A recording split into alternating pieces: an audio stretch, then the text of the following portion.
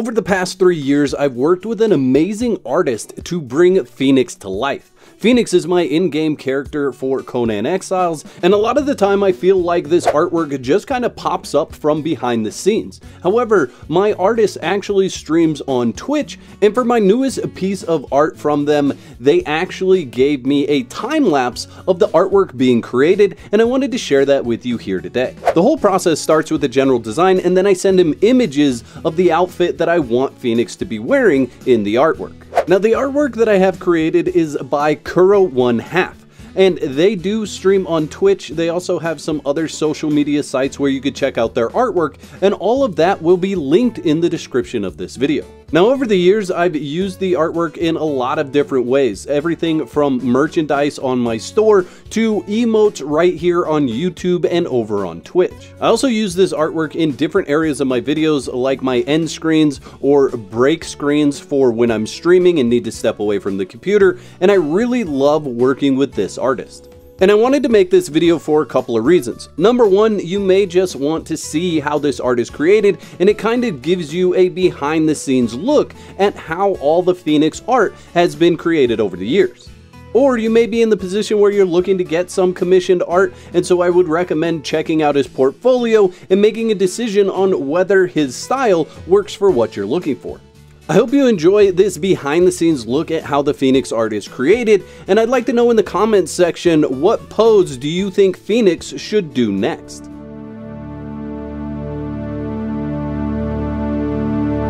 There's a fire.